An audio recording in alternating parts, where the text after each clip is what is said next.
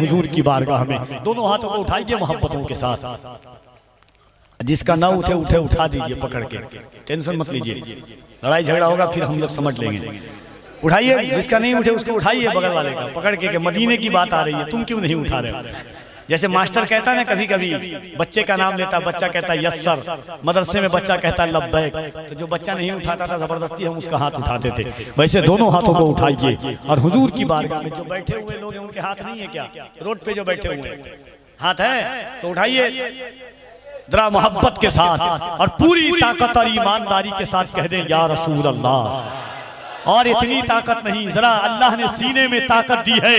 नबी वाले बुलंद जब अपनी सदाएँ करने लगते हैं, मुनाफिक उसको सुन के दाएँ बाएँ करने लगते हैं। मोहब्बत से कोई कहता है, जब या रसूल अल्लाह फरिश्ते उसके हक में बख्शिश की दुआएँ करने लगते हैं।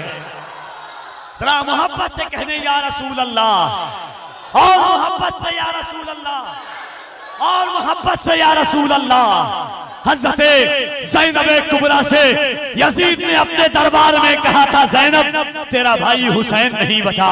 जैनब तेरा भाई अब्बास नहीं बचा। जैनब, तेरा भतीजा उनो मोहम्मद नहीं। तेरे बेटे उनो मोहम्मद नहीं बचे। जैनब, तेरे भतीजे अकबरो कासिम नहीं बचे। जैनब, तेरे पास बचा क्या है?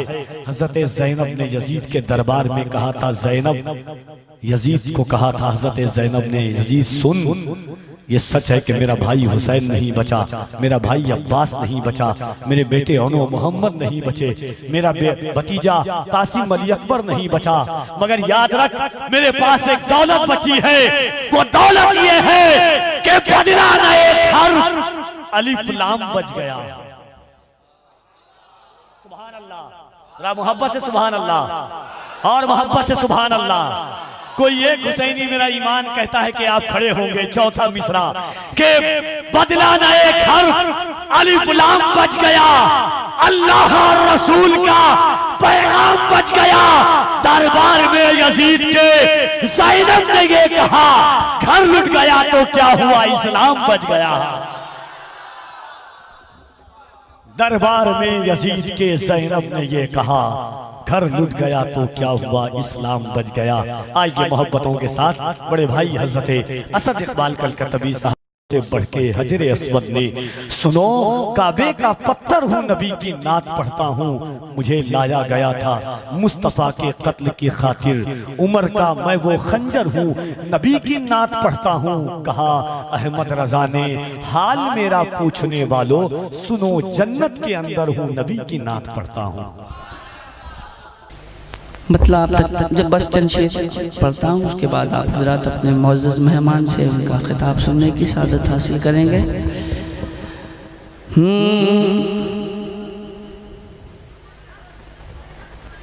तेरी हर एक सांस में जोबार नात है।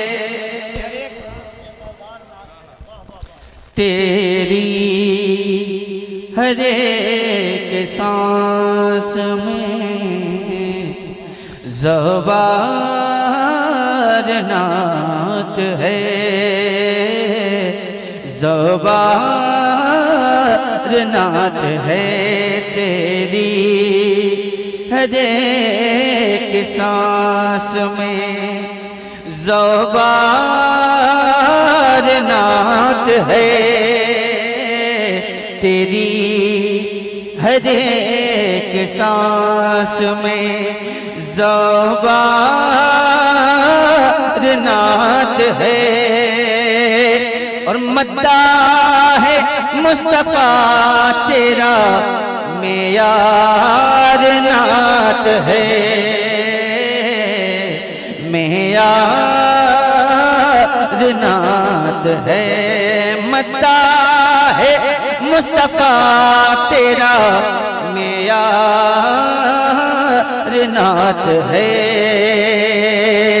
और वल्लाह चार चाँद लगाने के वास्ते, वल्लाह चार चाँद लगाने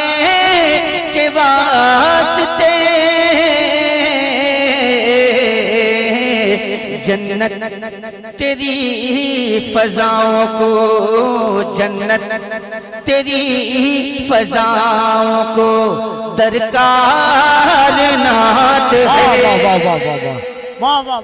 जन्नत तेरी फजाओं को दरकार दरकार नात है।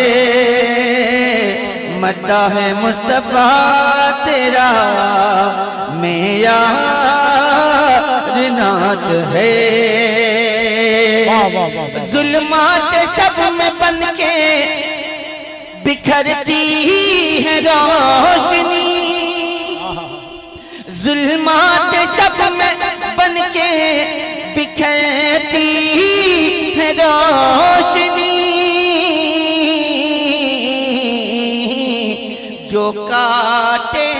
शिरक को जो काटे, शिरक को वही तलवार नाट है।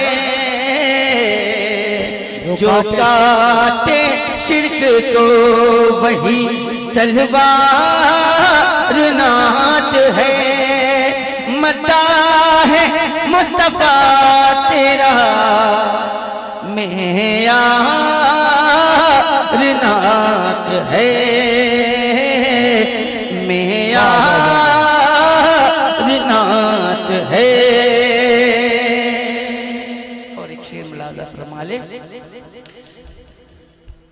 कमज़ोरी हयात का, नशा उतार दे। कमज़ोरी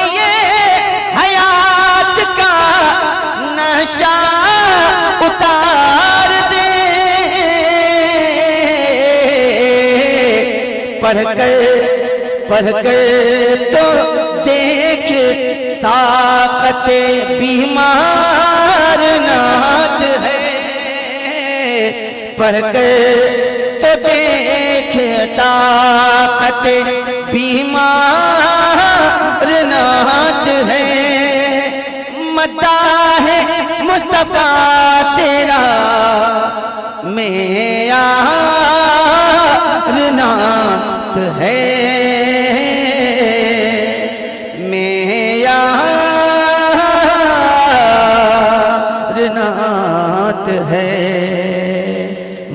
है मुस्तफ़ा तेरा मैं है। हज़रत मतलब मैंने इशार आप तक पहुँचाने की आदत हासिल की। आप तमामी हजरात मोहब्बतों के साथ समात किया। अल्लाह आपकी समातों को कबूल फरमाए और अल्लाह मेरे पढ़ने को भी कबूल फरमा ले और हाजरीन की समात बहुत ही बेदार समात है, माशाल्लाह। बहुत ही संजीदगी के साथ आप हजरात ने समात किया। बस इसी पे मैं इतफ़ा करता हूँ और मैं कोशिश करता हूँ कि अपने जो बाहर से आए हुए मज्ज़ मेहमान हैं, उनको आप हजरात सुनने की भरपूर शहादत हासिल करें ताकि आप हजरात उनसे लुफानंदोज़ हो सके और अपनी मोहब्बतों को आप निछावर कर सकें उन पर। मेरा क्या है, मैं तो आपके करीब का हूँ। जब चाहेंगे, अठहत्तर किलोमीटर है, अस्सी किलोमीटर है। घंटे, डेढ़ घंटे में आपके सामने हाजिर हो जाऊँगा। लेकिन नूर मुजस्म भाई बहुत दूर से तशरीफ़ लाए। आप हजरात को इनसे भरपूर सुनने की सादत हासिल करना है। और आप हजरात को अपनी मोहब्बतों से इनको नवाजना है। बस इसी कलमात के साथ मैं अपने आप को माइक से अलग करता हूँ और भाई तशीफ